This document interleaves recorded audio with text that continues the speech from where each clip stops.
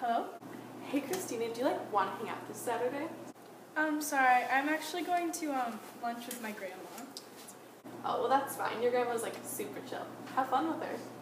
Yeah, I will. Smooches.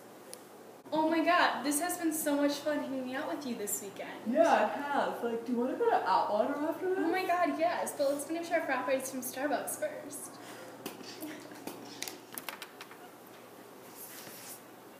Hey Christina, like I don't want to start any drama or anything, but like I asked you to hang out last Saturday, and like you said you were hanging out with your grandma, and like that's fine because your grandma's pretty chill.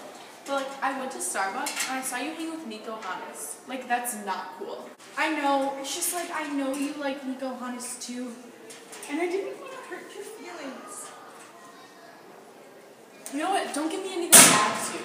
If you just would have been honest with me, I wouldn't have been so mad. Like I won't do it again. Like I promise you.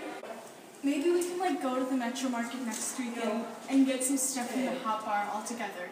Even like get some Starbucks from the Starbucks there. Totally. I really appreciate that. This is what you should do. Instead of getting in a fight with your best friend, you should have just been honest from the start.